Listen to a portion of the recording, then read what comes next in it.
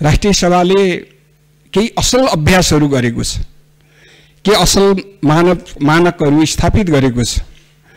यहाँको कार्यकालमा तिनीहरू कमजोर हुनु हुँदैन। तिनीहरू अझ सबल बन्नु पर्दछ सुदृढ बन्नु पर्दछ। त्यस अर्थमा यहाँको कार्यकाल सफल बनोस् र यहाँको नेतृत्वमा हामीले यो सभालाई सफलतापूर्वक सञ्चालन गर्न सकौँ। यो शुभकामना व्यक्त गर्न चाहन्छु। यो सभा सरकारले दिएका बिजनेसहरूमा मात्रै सीमित रहेको छैन र रहनु पनि हुँदैन भन्ने मलाई लाग्छ। विभिन्न हिसाबले सरकारले प्रस्तुत गरेका बिजनेस बाहेकका कामहरू पनि गर्न सकिन्छ। विगतमा यो सभाले गर्ने कोसिस गरेको छ। कतिपय सन्दर्भहरू मभन्दा अगाडि बोल्ने मान्यजीले राख्नु भएको छ मैले तिनै सन्दर्भ दोहोऱ्याउन चाहन्न। त्यस्ता केही कामहरू भएका छन्।